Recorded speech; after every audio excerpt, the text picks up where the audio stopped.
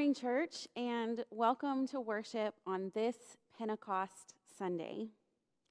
Yesterday, I had the chance to spend some time with Reverend John Lee from Mount Zion Baptist Church, and he told me uh, that he had this scripture from Isaiah on his heart, and so I thought it would be appropriate for us to listen to this text in Isaiah chapter 59, verses 9 through 11, as we open our hearts to God in worship.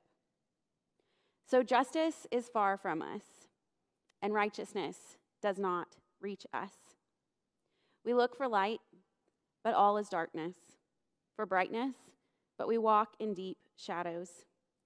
Like the blind, we grope along the wall, feeling our way like people without eyes. At midday, we stumble as if it were twilight. Among the strong, we are like the dead. We all growl like bears and moan mournfully like doves. We look for justice, but find none, for deliverance, but it is far away. This morning, church, I want to remind you that lament is also a form of worship. As we wake up this morning to more bad news, as we long for no person to be judged by the color of their skin, as we pray for violence to stop and for true transformation to come in its place. We come to worship not to leave behind the troubles of the world but to place them on God's altar so that we can be the hands and feet of Jesus. Church, I wish we were together in person today. But let us take a moment and remember that we are still worshiping as one church in many places. So let us worship God with all of our hearts and all of our souls and all of our strength.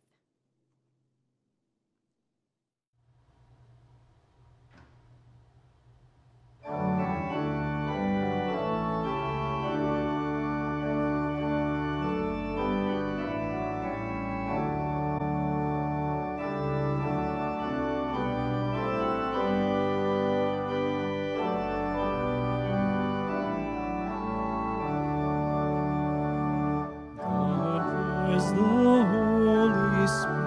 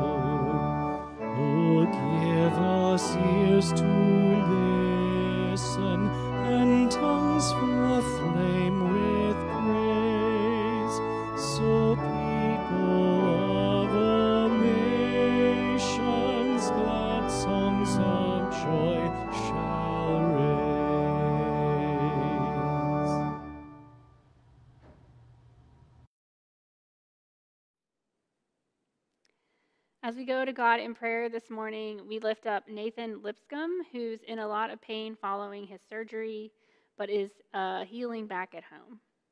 We also continue to pray for Julie Boca and Peggy Jones, who both had surgery this week, but both surgeries went well. William Thalman's Aunt Judy passed away yesterday evening, so we lift up William and his Uncle Ned as they grieve this loss. Holly Akeridge's father, David, who we've been praying for, passed away early Saturday morning from COVID 19. Our prayers are with Holly, her wife Patty, who is on the COVID unit at the Med Center, her mother, and the rest of her family. 100,000 lives lost to this virus. Lord, hear our prayers. I can't breathe, George Floyd said as an officer knelt on his throat, cutting off his airway and killing him. How much longer, O oh Lord? I imagine our friends and neighbors of color shouting these words of lament from Psalm 43. Vindicate me, O God, and defend my cause against an ungodly people. From those who are deceitful and unjust, deliver me. For you are the God in whom I take refuge.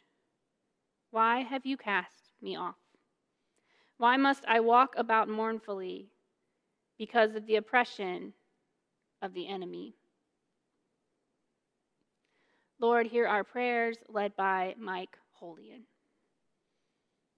Let's pray. As we gather this Pentecost Sunday, we kneel before you and ask the Holy Spirit to come into our lives as we deal with this terrible epidemic which surrounds our country. Like the apostles of old, brand our hearts with the flame of the power of the Holy Spirit.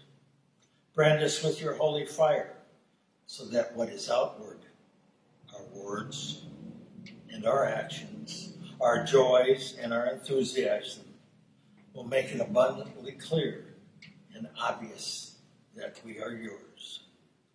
Whirlwind Spirit of God, roar through our hearts and minds, sweep away the cobwebs of our apathy, and blow down the wall that separates us one from another.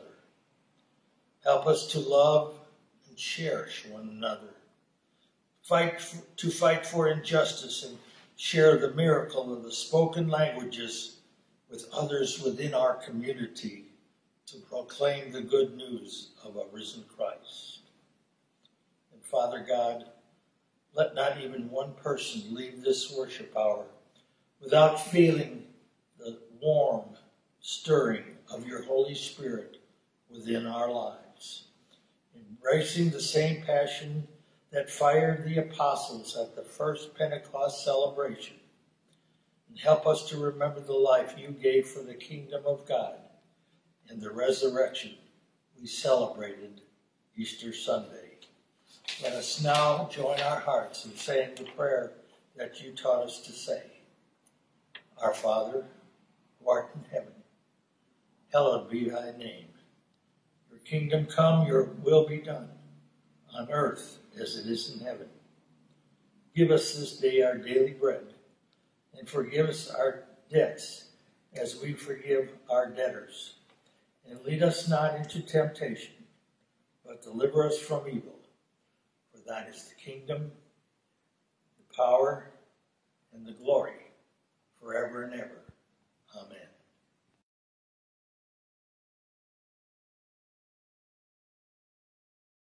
When the day of Pentecost came, they were all together in one place.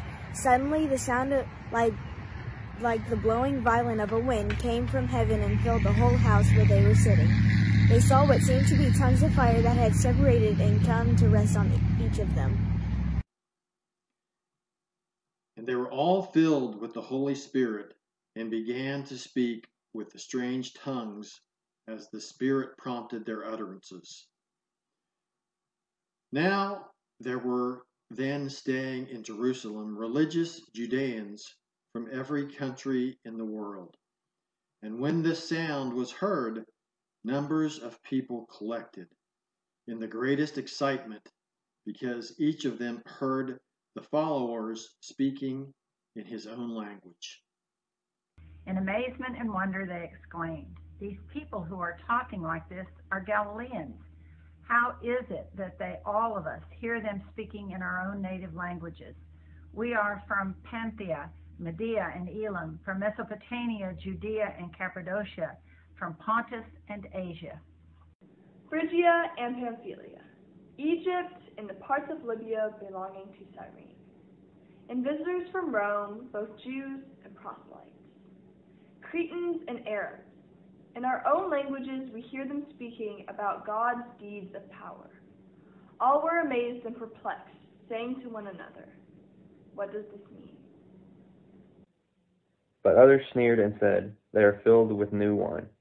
But Peter, standing with the eleven, raised his voice and addressed them Men of Judea and all who live in Jerusalem, let this be known to you, and listen to what I say.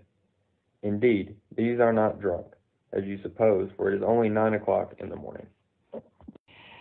This is what was spoken by the prophet Joel. In the last days, God says, I will pour out my spirit on all people. Your sons and daughters will prophesy. Your young men will see visions, and your old men will dream dreams. And I will show wonders in the heaven above, and signs on the earth beneath blood and fire and vapor of smoke. The sun shall be turned into darkness, and the moon into blood, before the day of the Lord comes, the great and manifest day. And it shall be that whoever calls on the name of the Lord shall be saved. This is the word of God. Thanks be to God. Thank you, church, for sharing the good news with us this morning. Has anyone else gotten really comfortable at home? I had to laugh the other day when I called a church member who said, I'm really thriving staying at home, which I'm not picking on her. I love that, by the way, all of our sweet introverts who are living the dream at home. My latest project was redecorating my bedroom, or really just decorating it for the first time since our girls were just a few months old when we moved in. So we just threw some stuff on the walls at the time. So I ordered some small pieces of furniture and I rearranged some of the art on the walls. I made myself a cozy little nook in the corner, one of the few places where I get cell service, so I can catch up with church members and friends there. Now, next week, we were supposed to be going to the beach, but canceled our trip. So instead, I am going to take on my guest bedroom next. The longer we are home, the more projects I find to make the most out of our space. Because this is what we have, and I want our family to be comfortable in it. In our story for today, we find the apostles gathered all together in one place. I envision them quarantined like us, tired from their grief, anxious about an unknown future, worried for their safety and for the safety of those they love. They were probably getting on each other's last nerve, but now Jesus isn't there to mitigate their arguments. And all that fear and exhaustion, I imagine that they start to get comfortable inside. Jesus had promised not to leave them alone, but I wonder were they starting to doubt? Like, were they there waiting for the Holy Spirit? As one commentator puts it, the promise of the Holy Spirit compelled people to gather in anticipation of it. They rearranged their schedules and synchronized their calendars to make themselves available to God. Isn't that nice? But I wonder, is that really how it went? Like, were they anxiously awaiting the Holy Spirit? Or was it more like when I experience God, most often an interruption, a total interruption of what has become comfortable and routine? Were they summoning God? Or did God break through their assumptions, their comfortable routines, their mundane, shut in lives, and surprise them? It was a girl's fourth birthday when the governor announced that pretty soon churches would be able to gather in person for worship again. For once, I actually wasn't listening to the four o'clock briefing. Instead, I had presents waiting for the girls for when they woke up from their naps, and I was watching them unwrap them with glee. They were trying on their new cowgirl boots and reading some new books. When I looked up on, at the television, which out of habit I had turned on to the four o'clock briefing, but I think I had it on mute. And I looked up, and there was a graphic that caught my eye. It was that picture of a little church with a cross on top, and it listed houses of worship and a date for their re entry into the sanctuary. I instantly turned up the volume as my heart started racing. Could it be that we could gather together again soon in the comfort of our sanctuary? Are we ready? What will it look like? I wondered. Within a couple of days, our Safer Church Committee gathered by Zoom, and it wasn't long before judicatory bodies and individual churches started making plans. Over the last several weeks, I'll admit, my eyes have glazed over reading these detailed plans for reentry, which include everything from foot pedals to open doors to sanitizing bathrooms after every single use to worship by invitation only. This is not a church that I recognize. And as hard as I've tried to motivate myself to start a document of our own, I just couldn't bring myself to do it. And rest assured, it's not because I don't like making plans. I love making plans. Usually, I color code my outline and um, get everything just how I want it. One of my favorite parts of being your pastor is getting to cast a vision and watch it um, be fulfilled. But this is a plan that my gut wouldn't let me make. That is until last Wednesday. When I woke up on a rainy day and started checking my emails on my phone from bed, it's a really bad habit, and I don't recommend doing it. I'm on an email chain with several other pastors, and one who I particularly respect had just sent his church's plan. And so I started reading it. I got just a short way through it, but further than I had on most average plans that I had been reading before losing patience. But this time, instead of burying it, I thought, today is the day. I am going to start working on our plan unsure of what it would look like, but feeling certain that there are plenty of good models out there. Now, it may not surprise you that FCC's plan, it doesn't look like most other churches' plans. First Christian Church is an inclusive faith community built on the love of Christ, not a building, not a sanctuary, but a community focused on loving Jesus and making that love especially known to those people who are usually left off of the invitation list. We will stay out of our sanctuary as long as it takes for us to ensure the safety of all of God's children, including the sick, the vulnerable, and the 65 and older. The church does not need a 10 page document to tell us how to be the church. As my friend Robin believes so much that she had a giant sign printed and planted it in the front of her church that sits on a busy intersection in Des Moines, Iowa. The sign says, The church is not a building, the church has a building. Amen. Friends, I will admit, I have gotten comfortable. We have gotten comfortable worshiping inside of this sanctuary.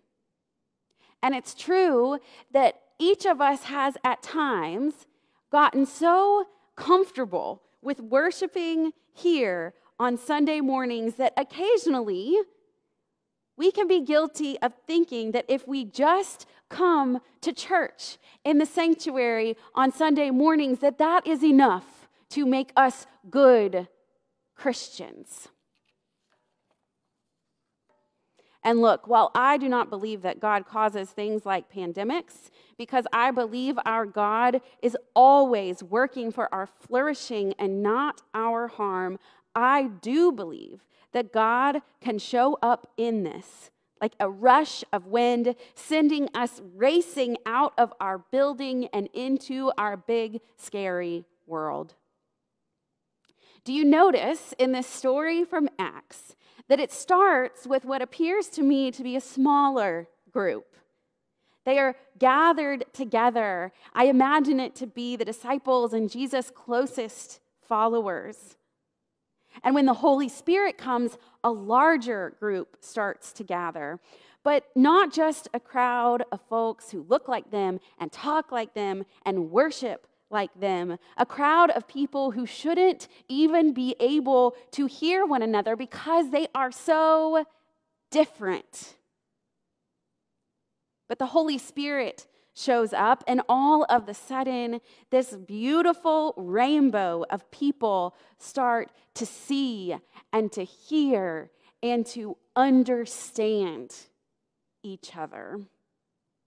If there is no other good news for us this morning, let it be that it is possible to understand each other. So I wonder, in that moment, did the Holy Spirit do some magic trick so that instantly they could understand new languages like a Rosetta Stone on steroids or something? Or was the work of the Spirit to change their hearts so that they desired to understand each other.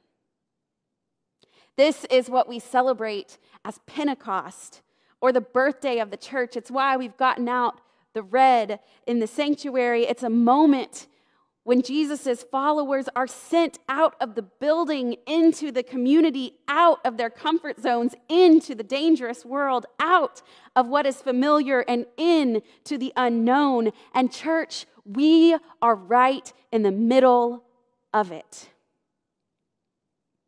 So, what are we going to do? Create a 10 page long document.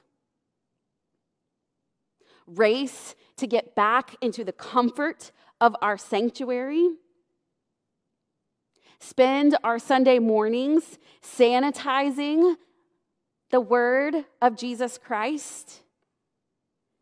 Send out invitations to those who look like us and talk like us and worship like us to come and worship God in ways that transform nothing but make us comfortable?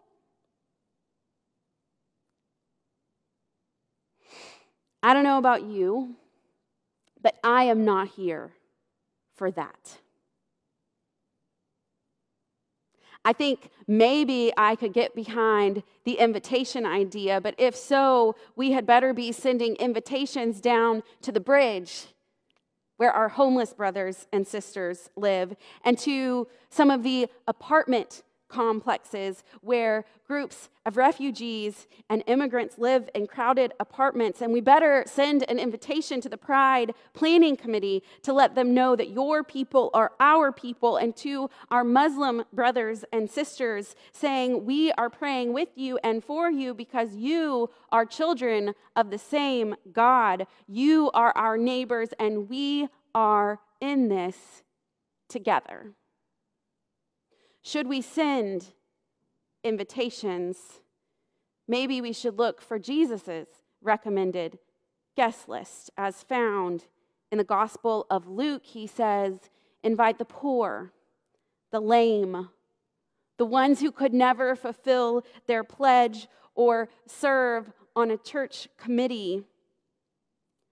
Church, we will never have worship that is by invitation only because that isn't church. That is an exclusive social club. That isn't bowing down to Jesus, but bowing down to Caesar. That isn't driven by the rush of a holy wind, but by the chill of fear. And that is not who we are. Now, just in case you're starting to feel good about all of this, like we have really gotten this thing figured out, I would urge us all to take a step back. I deliver this message with fear and trembling, with respect for God and God's people, and hope that we will be faithful in this moment. If we want to follow the Spirit that is called holy, we should probably be shaking in our boots. Because, y'all, if we're going to do this, we are going to renew our vows to God outside the sanctuary, then we had better buckle our seatbelts. And as Annie Dillard would advise us, put on our crash test helmets. It is not easy to reach beyond what we want. I want to be back in this sanctuary with you. I want to hear the amazing chancel choir sing. I want to hug each of you and hold you tight. It is not easy to reach beyond what we want, but I believe we are called in this moment to ask not what do I want, but what does God want from me for the sake of my neighbor? And as scary as that is, there is still a promise that we can hold on to. Jesus said that he would not leave us alone, but send the Holy Spirit to us, which is what we celebrate at Pentecost. And while that Spirit, she will pull us to new places, she will also give us a renewed sense of purpose. The Holy Spirit will remind us who God is and who we are called to be. And in my heart of hearts, I believe we will not regret listening to God's Spirit in this moment. Now, I do have a meeting with the Safer Church Committee this afternoon. And they are the group I am grateful for because they keep me grounded when I start railing against 10 page long policies. Because the truth is, we do need some structure to keep us safe. And a lot of people have prayerfully and wisely come up with important rules around how people can re enter the sanctuary more safely. And I am truly grateful for that. But what I am suggesting is that if we have figured out in the midst of this pandemic how we can worship together but still apart, what if we commit to staying the course a little while longer? Because I can promise you, if you spoke with Holly Akridge, who lost her dad, her beloved dad, yesterday to COVID 19, if you spoke to her wife, Patty, who cared for him faithfully, even as he took his last breath in our COVID 19 unit at the medical center in Bowling Green If you spoke with them, you would understand why we absolutely cannot afford to get this wrong. So I can't tell you how long it will be until we are back together in the sanctuary, but let's suppose today for the remainder of the summer. But what if we recommit to being the church during that time?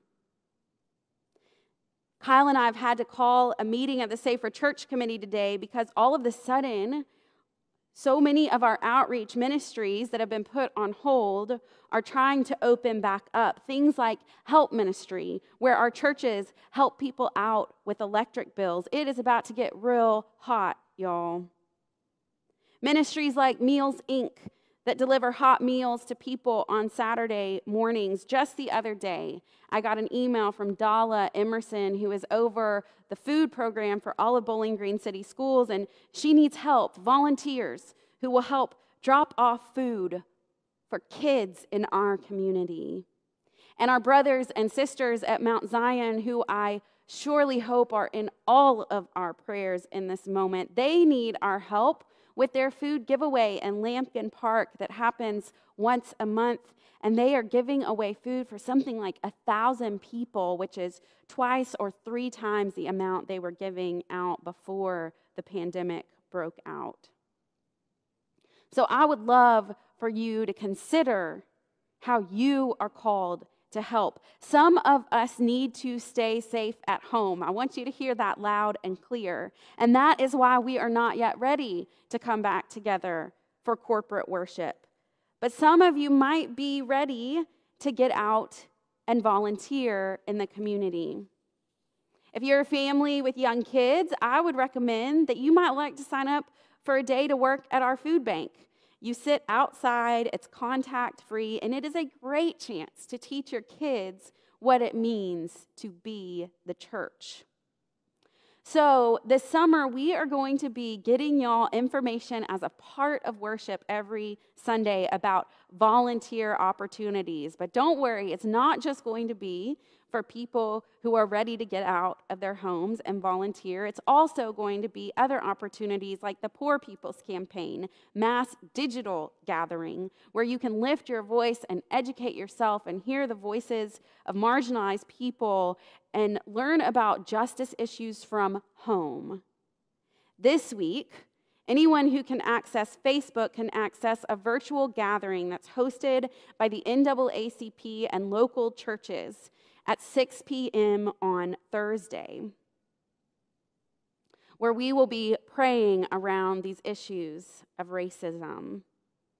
In this moment, it matters for us to listen to the voices of people who have brown skin and are feeling unsafe or afraid.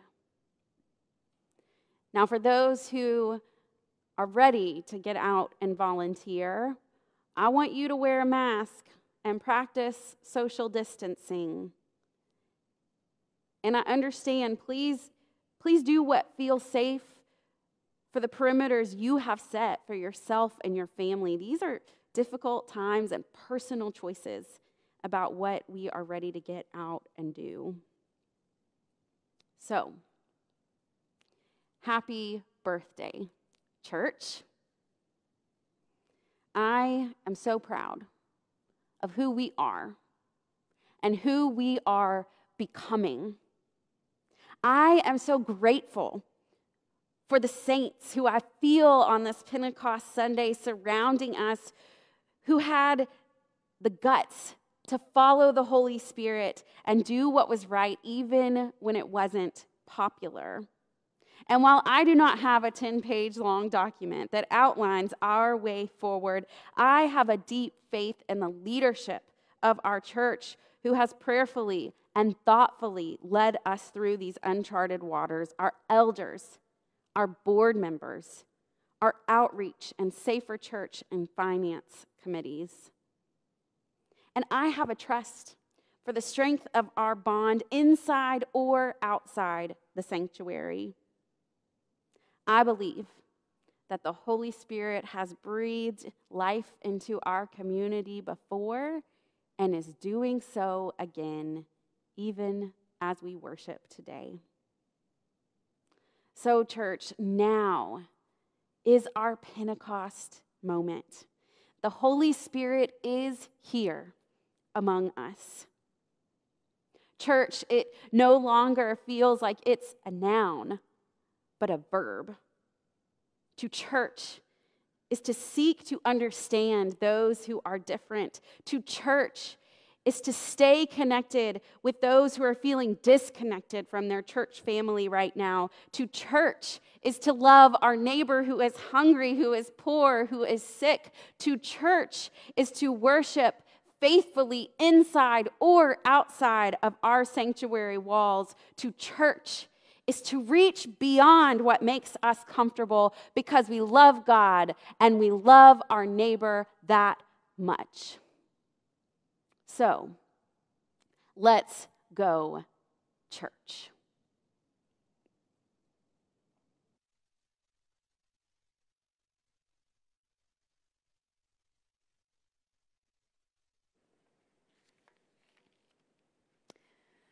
On Pentecost, they gathered quite early in the day, a band of Christ's disciples to worship, sing, and pray.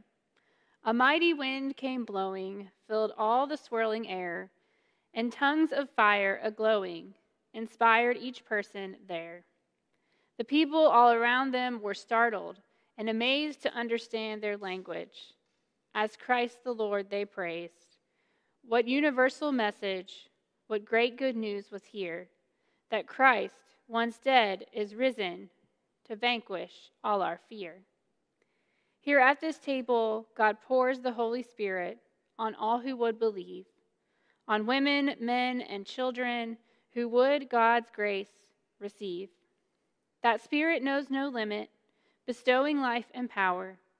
The church, formed and reforming, responds in every hour. Let us respond together to this precious gift. All are welcome at Christ's table.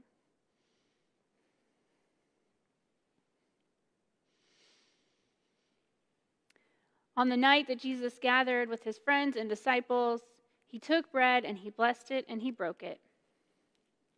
And he said, This is my body broken for you. Do this in remembrance of me.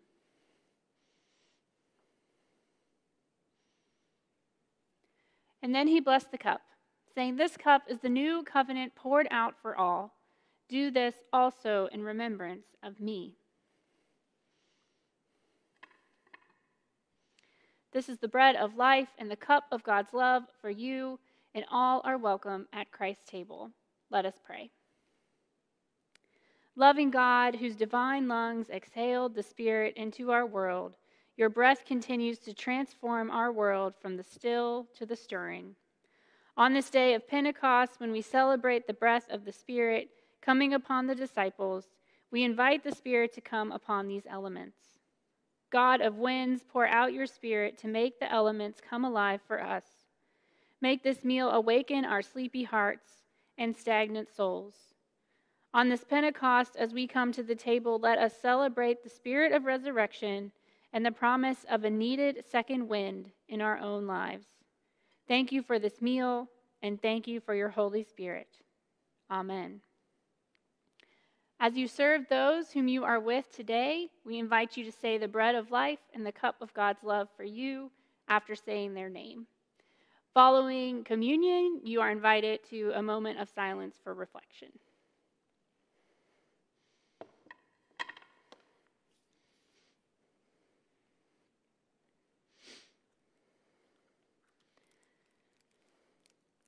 Megan, the bread of life and the cup of God's love for you.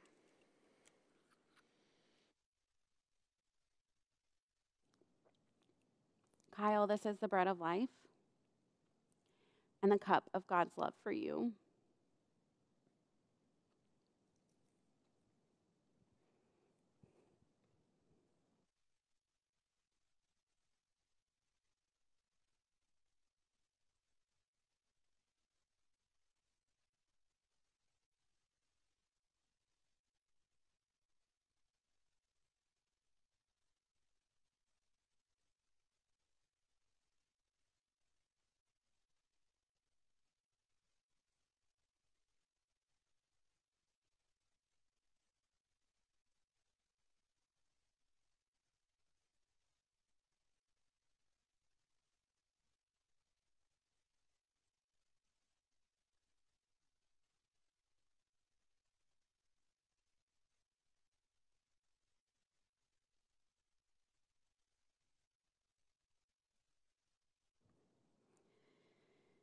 Amen.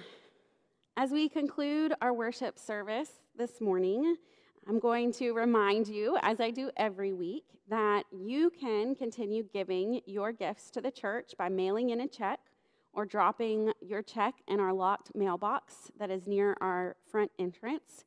You can also give to the church by making a gift online.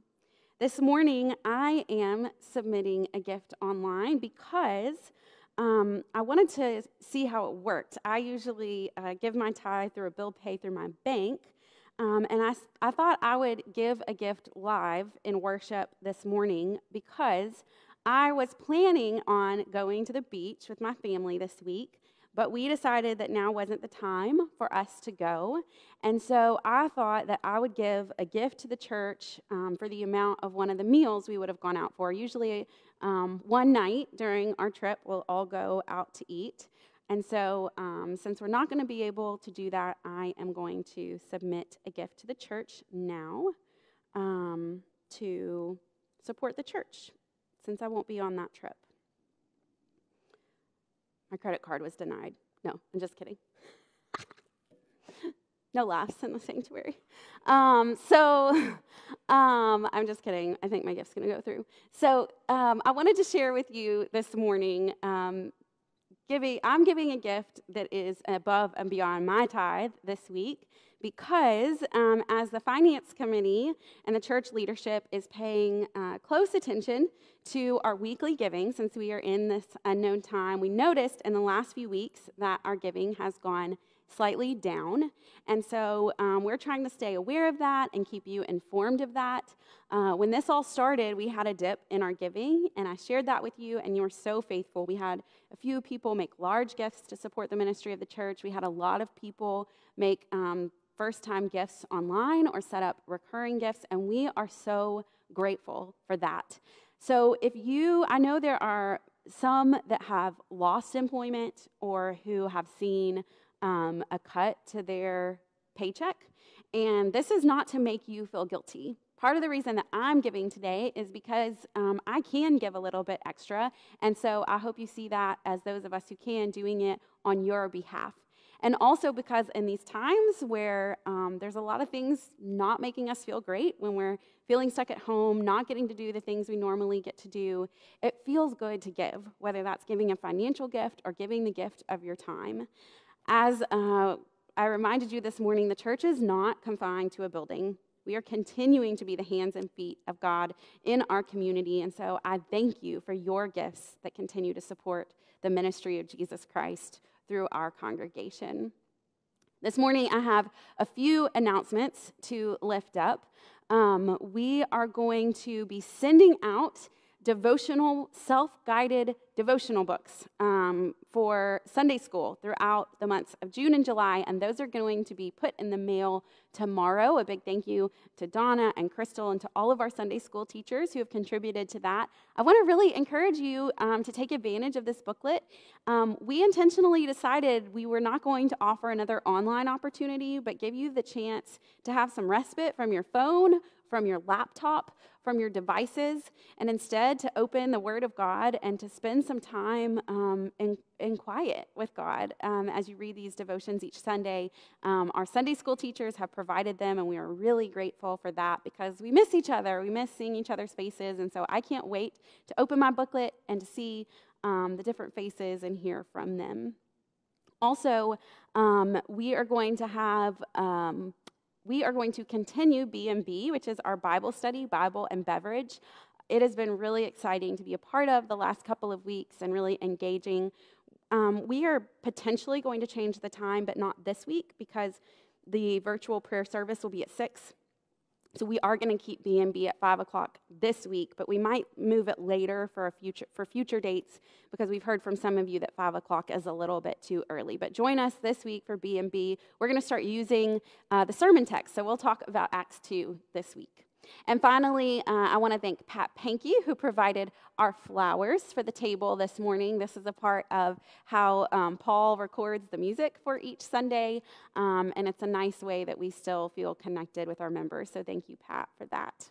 Will you rise for our benediction? God, we give you thanks that the church is more than a building.